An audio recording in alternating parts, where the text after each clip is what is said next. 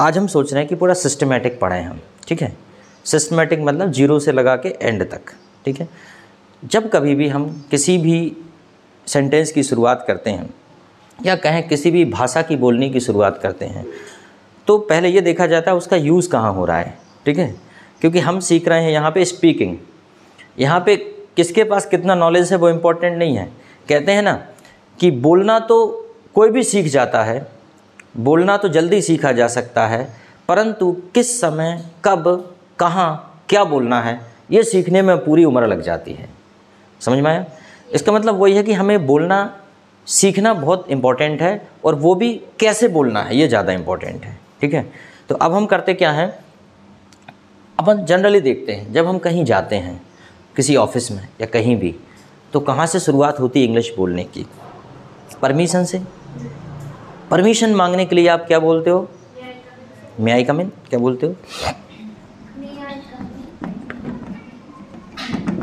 May I come इन क्या मैं अंदर आ सकता हूँ? May I come in okay translate in English क्या मैं अंदर आ सकता हूँ? क्या मैं बाहर जा सकता हूँ? क्या मैं आपकी मदद कर सकता हूँ? आप जब आ जाते हैं किसी ऑफ़िस में तो क्या बोलते हैं? यही बोलते हैं कि नहीं? मैंने तो देखा है जो हिंदी मीडियम वाले भी म्याई कमिन बोलते हैं। क्योंकि इतना उनको पता है कि म्याई कमिन बोला जा सकता है ठीक है? क्या मैं आपकी मदद कर सकता हूँ? मे आई हेल्प यू क्या मैं आपको डिस्टर्ब कर सकता हूँ? May I disturb you very simple ठीक है? अच्छा बोलने का और क्या तरीका हो सकता है परमिशन के लिए? क्या मे ही बोला जा सकता है? और भी कुछ हो सकता है? एक्सक्यूज़ मी बोल सकते हो लेकिन एक्सक्यूज़ मी का मतलब होता है ज़रा सुनिए। है ना? क्या हम कैन आई कमेंट भी बोल सकते हैं? कैन आई कमेंट लेकिन प्लीज़ लगाना पड़ेगा। ठीक है? प्लीज़ क्यों लगाना पड़ेगा? क्योंकि कैन इनफॉर्मल है। कैन फॉर्मल नहीं है। कैन इनफॉर्मल है। फॉर्मल इनफॉर्मल समझते हो? फॉर्मल का मतलब होता है औपचारिक और इनफॉर्मल का मतलब होता है अनौपचारिक। जब हम किसी के यहाँ पूरी प्लानिंग के साथ जाते हैं तो वो होती है फॉर्मल मीटिंग ठीक है? और जब हम ऐसे ही रैंडमली चले जाते हैं, वो क्या होती है? इनफॉर्मल मीटिंग समझ गए? जब हम कलेक्टर को या प्रिंसिपल को या किसी भी बड़े अधिकारी को, उच्च अधिकारी को पत्र लिखते हैं, वो कौन सा लेटर होता है? फॉर्मल और जब हम अपने दोस्त यारों को लिखते हैं तो क्या लिखते हैं? इनफॉर्मल कुछ भी कहीं भी लिख दो, चल जाएगा। ठीक है? ओके और दोस्त यार में तो इनफॉर्मली ज़्यादा होता है। ठीक है? जैसे कि मान लीजिए, जब हम उच्च अधिकारियों से बात करेंगे तो बड़े सम्मान से करेंगे, आप। ठीक है? और दोस्तों से तू। तेरा बाप। ठीक है? यस डायरेक्टली बोल देते हैं, ठीक है? जैसे किसी ने कहा, कोई अपना दोस्त अपन से बात कर रहा है तो उसने कहा कि मैं क्या करूँगा? मैं पचास साल तक तो पैसे कमाऊँगा, बहुत ज़्यादा। उसके बाद फिर मैं दस साल लोगों की सेवा करूँगा, फिर मैं दस साल भगवान का भजन करूँगा। तो दोस्त अगर होगा तो बोले, अरे, तब तक तू मर जाया करे। तब तक तू जिएगा ही नहीं। ठीक है? कई बार फ़ोन नहीं उठाएगा कोई दोस्त तो डायरेक्ट फ़ोन में बोलेगा का है? हेलो? मर गए का फ़ोन नहीं उठा रहे। तब भी उसे बुरा नहीं लगता है है ना? अगर दोस्त को फ़ोन लगाया और उसने कहा, हेलो, कौन बोल रहा है? उधर उधर से बोलेगा तो मेरे पापा बोल रहे हैं। कहाँ हो? जल्दी आ जाओ। मतलब this is the condition among the friends इसलिए दुनिया में कहते हैं ना, दोस्ती से बढ़ के कोई रिश्ता नहीं होता, ठीक है? सुदामा और कृष्ण की दोस्ती तो आप जानते ही हैं। हमने बहुत पढ़ी है कि भगवान कृष्ण को मतलब बिल्कुल भी इस बात का घमंड नहीं था कि वो राजा हैं और एक भिखारी को गले लगा रहे हैं क्योंकि वहाँ पे कॉन्सेप्ट फ्रेंडशिप का है। That's why the friendship is better और greater than any other relation of the world that's why be honest keep honest friend and be a good friend आप भी अच्छे दोस्त बनो और दूसरों से भी अच्छे दोस्त भी बनाओ। अच्छा लोग ये कहते हैं आजकल बिना स्वार्थ के कुछ भी नहीं है। ऐसा मानते हो आप चीज़? आप कहते हो बिना स्वार्थ के कुछ भी नहीं है। स्वार्थ होना चाहिए कि नहीं? बताइए। स्वार्थ होना चाहिए। स्वार्थ में क्या दिक्कत है? भाई अगर मान लीजिए आपको पढ़ना अच्छा लगेगा तभी ना आओगे कि वैसे ही आगे बैठ जाओगे। मैं बोर कर रहा हूँ तो भी आगे बैठ जाओगे। आपका दोस्त आपके किसी काम का नहीं है तब भी क्या उससे दोस्ती करोगे क्या? भाई कुछ ना कुछ काम का तो हो। गई कुछ नहीं करेगा तो आपका इंटरटेनमेंट करेगा आपकी हेल्प करेगा। या अगर आप कमज़ोर हैं तो वो रोबस्ट होगा पहलवान होगा। तो आपको एक ये हमेशा ऐसा लगेगा कि at the time of at the time of emergency he can help me okay कुछ नहीं तो आपको, आपसे नॉलेज में ज़्यादा हो सकता है। तो आपको ये भाव होगा कि he can help me any time okay that's why तो ये बात समझ में आ गई आपको कि परमिशन के लिए हम मे का प्रयोग कर सकते हैं मे आई कम इन ये हमारा आज का प्रीवियस लेसन है, और चूँकि आप ही ने कहा था कि लेसन वाइज पढ़ें तो ज़्यादा अच्छा है, ठीक है? कैन आई कम इन भी कर सकते हैं? Can I come in please अच्छा एक और चीज़ कर सकते हो आप। कुड आई कम इन कर सकते हैं। कुड आई कम इन ये भी किया जा सकता है। अच्छा एक चीज़ और कर सकते हैं। शुड आई कम इन क्या मुझे आ जाना चाहिए? शुड आई कम इन ये भी बोला जा सकता है। एक और बोला जा सकता है। Might I come in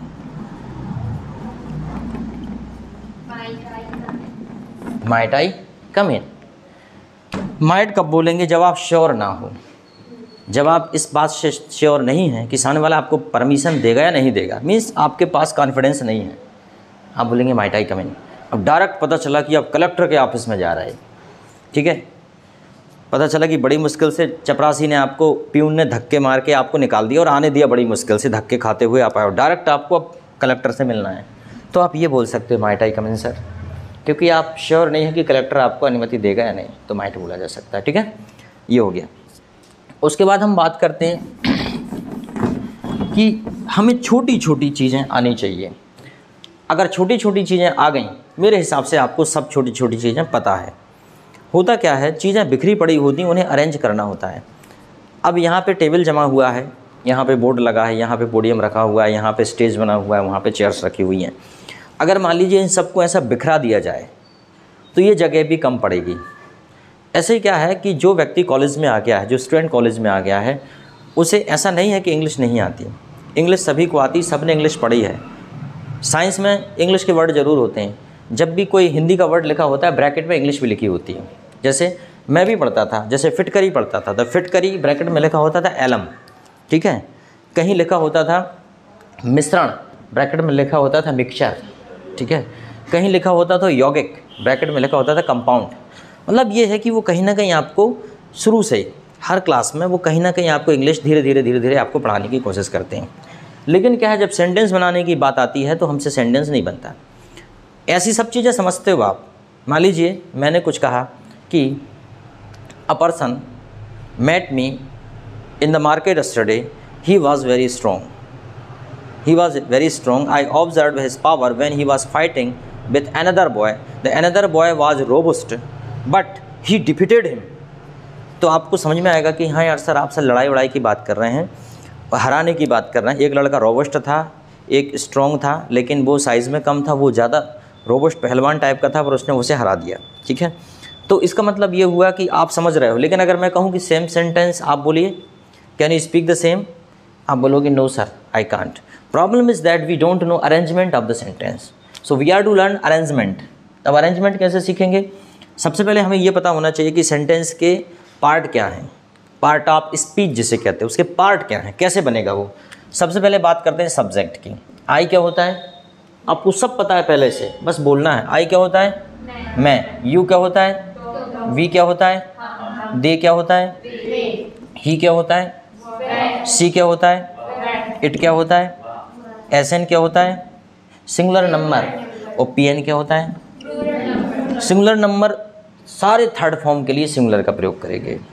वह है लड़का वह है लड़की मामा चाचा दादा नाना काका काकी सब के लिए। समझ में आया? चलो। अब उसके बाद हम जब बात करते इनके कुछ पजेसिप्स की कुछ पजेसिप माई। माई मतलब? योर अवर देयर उनका हिज हर इट्स इट्स उसका एनी नॉन लिविंग का कोई भी नॉन लिविंग का हो जाएगा राम्स अगर यहाँ राम ले लिया जाए तो राम का और चिल्ड्रंस चिल्ड्रंस डे मनाते हैं हम बाल दिवस, बच्चों का दिन children's day okay any problem ठीक है? चलो। अब हम इसके बात करते हैं कुछ ऑब्जेक्ट ठीक है? जैसे कि मी मुझे सेंटेंस के यही पार्ट हैं। सेंटेंस के यही पार्ट हैं। समझ में आया? जैसे बोलते हैं ना पार्ट ऑफ़ स्पीच स्पीच के यही छोटे छोटे पार्ट हैं कि कौन, किन चीज़ों से मिलकर आपकी स्पीच बनती है। जैसे कि मी क्या हो गया? मुझे। ठीक है? यू तुमको। जैसे मैंने कहा कि I like you I beat you I miss you तो क्या यू ऑब्जेक्ट ठीक। अस हमें। टीच अस हमें पढ़ा दो। ठीक है ना? हेल्प अस हमारी मदद कर दो। अरेस्ट अस हमको अरेस्ट कर लो। ऐसा बोलना नहीं चाहिए। ऐसा बोलना नहीं चाहिए। क्योंकि कई बार सही भी हो जाता है। लेकिन इतना कॉन्फिडेंस होना चाहिए ना, आप ऐसा कुछ करोगे ही नहीं तो किस लिए जाओगे, ठीक है? चलो देम लेकिन कई बार ऐसा सही में हो जाता है, क्योंकि मैं क्लास में बैठा था, शायद ये बात मैं बता चुका आपको तो मेरे इंडक्शन ट्रेनिंग चल रही थी, मेरे पीछे एक मैडम बैठी हुई थी, वो भी वो भी ट्रेनिंग ले रही थी, मैं भी ट्रेनिंग ले रहा था तो मेरी एक थोड़ी सी एक बुरी आदत है कि ट्रेनिंग के दौरान जब कोई पढ़ा रहा होता है, मैं बात करता हूँ, अपने साथियों से मैं बात करता हूँ वो तो सभी करते हैं, पर मैं बता रहा हूँ, सब बताते नहीं हैं। हालाँकि ट्रेनिंग का पूरा समझ में आता है हमको क्या बता रहे हैं। फिर भी हम आपस में खुसर फुसर हम करते रहते हैं। तो मैडम कहने लगी, एक काम करो, तुम ही पढ़ा लो। समझ में नहीं आ रहा कुछ। उनको ही सुन लेने तो आप ही पढ़ा लो। और उस टाइम तो बुरा लगा। लेकिन उसकी बात में वो पावर था कि आठ दिन बाद मेरा नाम ज़िले की मास्टर ट्रेनिंग की लिस्ट में आ गया। अब सोचो आठ दिन बाद अगर मैं उस ट्रेनिंग में चला जाता, मेरा स्वास्थ्य खराब होने के कारण मैं नहीं जा पाया, अगर मैं चला जाता ओके यू अगर मैं नहीं जा पाता, अगर मेरी तबीयत ख़राब ना होती तो सच में, कुछ दिन बाद मैं उस लड़की का ट्रेनर बन गया होता। मतलब उसने, देखो, बोला तो गुस्से में था बुरा, लेकिन उसके मतलब जुआ पे सरस्वती सवार हो गई। पूरे ज़िले में, कि मैं ही एकमात्र ऐसा बंदा था जिसका नाम आना था ज़िले के लिए मास्टर ट्रेनर में, और जो ब्रिटिश काउंसिल भोपाल वहाँ पे ट्रेनिंग थी, बहुत बेहतरीन ट्रेनिंग होना था। And I was lucky to be selected for that but what can be do something different is written in the destiny I was so I couldn't attend that program training program तो ऐसा हो जाता है, कई बार सही, ठीक है? तो हिज हिम उसे हर उसे एंड इट उसे एंड राम राम को एंड चिल्ड्रन बच्चों को। एनी प्रॉब्लम तो ये देखो, ये हमारी बोलने की शुरुआत होती है। जब भी हम कोई भी सेंटेंस बोलते हैं तो हमें सब्जेक्ट की ज़रूरत पड़ती है, ये हो गए। ऑब्जेक्ट की ज़रूरत पड़ती है, ये हो गए। और बर्ब की ज़रूरत पड़ती है, किसकी ज़रूरत पड़ती है? वर्ब वर्ब के कितने फॉर्म होते हैं? Four there are four form of the verb ठीक है? फ़र्स्ट सेकंड थर्ड और फोर्थ आईएनजी फॉर्म अगर इतनी चीज़ें सीख गए, अंग्रेज़ी बोलना सीख गए। बस उन्हीं को आगे पीछे करते रहते हैं। हिंदी में भी तो हम यही करते हैं। हिंदी में कहाँ का दिमाग लगाते हो आप ज़्यादा? मैं जाता हूँ, मैं जाता था, मैं जाऊँगा। देखो, मैं जाता मैं जाता, तब तक तो बराबर है, ये बात है। बस लास्ट का बदल रहा है। मैं जाता हूँ, मैं जाता था, मैं जाऊँगा। एक में है, दूसरे में था, तीसरे में गा। ठीक? एनी प्रॉब्लम बस। तो इसी प्रकार इंग्लिश में भी आप कुछ भी नहीं करते हैं, ये चीज़ें कभी नहीं बदलती, ये चीज़ें कभी नहीं बदलती, ये कभी नहीं बदलता, सिर्फ़ बदलती है तो आपकी वर्ब क्या बदलती है? वर्ब और हेल्पिंग वर्ब उसको भी वर्ब ही कहें। वर्ब और हेल्पिंग वर्ब क्रिया और सहायक क्रिया। ये बदलती हैं और पूरे सेंटेंस का अर्थ बदल के धर देती हैं। और कुछ भी नहीं करना होता है आपको।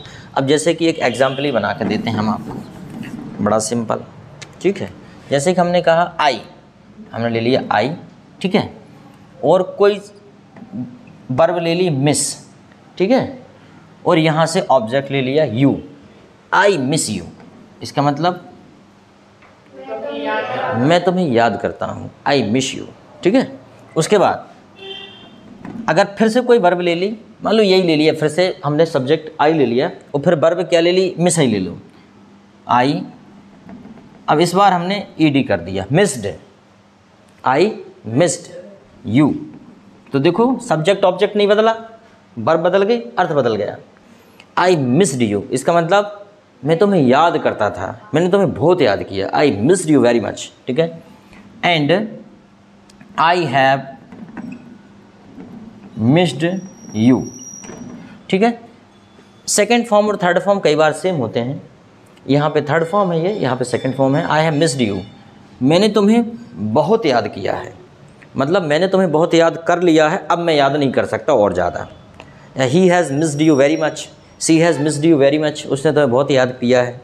तो ये तो इस प्रकार से फ़र्स्ट हो गया सेकंड हो गया और थर्ड हो गया। ठीक है? और अगर ऐसा हो जाए आई एम मिसिंग यू मतलब मैं तुमको याद कर रहा हूँ। तो ये हो गया फोर्थ।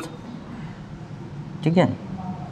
अब ये मान के चलो कि बस यही सब करना है। सॉरी ये क्या कर दिया मैंने? फोर्थ तो ऐसा होता है। ठीक है?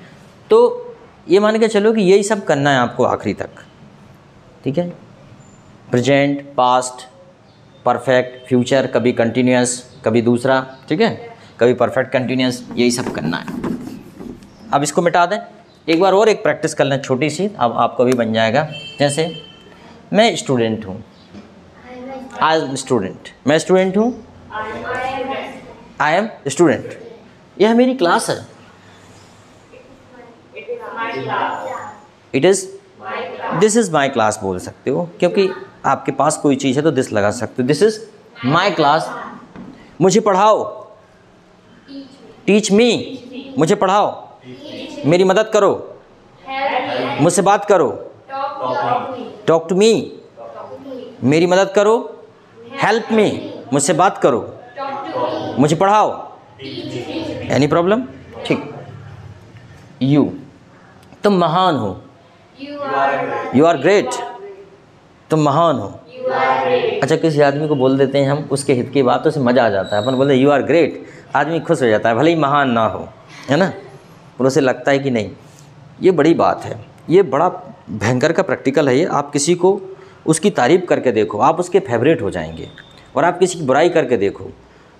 वो एक दो दिन याद रखेगा, उसके बाद आपको निगलेक्ट ही कर देगा। लेकिन अगर तारीफ़ करोगे ना तो सोते में भी उसके चेहरे पे स्माइल आ जाएगी। अगर मान लो ग्यारह बजे रात को रजाई उड़ के सो रहा है, एक बार मुँह निकाल के हंस लेगा कि यार वाह, क्या बात है। क्या बात कही थी मेरे बारे में कि आपकी तो बात ही अलग है। आप सबसे हटके हैं। You are different from others इसलिए इसका मतलब ये है कि अगर जिन लोगों से आप लॉन्ग टर्म रिलेशन बनाना चाहते हो, लंबे समय तक रिश्ते बनाना चाहते हो, निभाना चाहते हो, उनकी तारीफ़ करते रहना और जिन लोगों से पीछा छुटाते रहना, पीछा छुड़ाना है, उनकी तारीफ़ करना बिल्कुल ज़रूरी नहीं तो और पीछे पड़ जाएँगे। फिर बारह बजे रात को फ़ोन लगा देंगे आपको। तो means there is a power in appreciation there is a power in commendation okay there is a power and praise in praise praise जानते हो? प्रेज भी होता है प्रशंसा ठीक है? और उसके बाद अप्रिशिएशन भी होता है प्रशंसा अप्रिशिएट करना किसी को है ना? The say speak something positive about someone okay speak something positive कुछ भी पॉजिटिव बोलना लोगों के बारे में आपका स्वभाव होना चाहिए ठीक? तुम महान हो। यह तुम्हारा देश है। दिस इज़ योर कंट्री ये तुम्हारा देश है। दिस इज़ योर कंट्री मैं तुमको पसंद करता हूँ। आई लाइक यू मैं तुमको पसंद करता हूँ। मैं तुम्हें बहुत ज़्यादा पसंद करता हूँ। I like you very much ठीक है? ओके हम भारतीय हैं। वी आर इंडियन हम भारतीय हैं। भारत हमारा देश है। India is our country Bharat हमारा देश है। इंडिया इज़ अवर कंट्री हमारी मदद करो। हेल्प अस हमारी मदद करो। हेल्प अस है ना? ठीक। बेईमानदार हैं।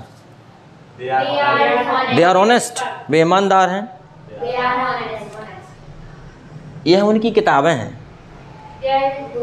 These are their books these are their books ये उनकी किताबें हैं। दीज आर देयर बुक्स यह उनकी किताबें हैं। उन्हें पढ़ाओ। टीच दैम उन्हें पढ़ाओ। अभी हमारे हम बना रहे हैं इस प्रकार से। क्या हम इन्हें दूसरे तरीके से और भी नहीं बना सकते? ज़रूरत आएगी वैसा वैसा हम बनाते चले जाएँगे है ना? पर सीखने के लिए तो हमें सरल सेंटेंस का सहारा लेना पड़ता है इजी सेंटेंसेस ओके चलो। यह मुकेश है। यह राज है। ठीक है? इसका नाम राज है. हिज नेम इज़ राज इसका नाम राज है His name Raj. इसकी मदद करो हेल्प हिम इसकी मदद करो Help him. उसे बुलाओ कॉल हिम उसे फ़ोन लगाओ कॉल हिम उसे अरेस्ट कर लो अरेस्ट हिम कुछ भी बोला जा सकता है ठीक है उसे प्यार करो क्या होगा लव हिम क्या सी लव हिम कहाँ से आ जाएगा? अरे लव हिम होगा सिर्फ़, है ना? सी की ज़रूरत नहीं है। एक लड़का जो है, वो एक लड़का जो क्लास में ही आते थे तो थोड़ा ऐसा ही सा हो रहा था, ऐसे ही बैठा, सुन्न सपाट। मैंने कहा, क्यों भाई, ऐसे क्यों बैठा है? बिल्कुल तो वो एक लड़का क्या बोलता है, सर ऐसे विटामिन सी की कमी है। कहा विटामिन सी की कमी में तो कभी लड़का ऐसा कभी होता ही नहीं है।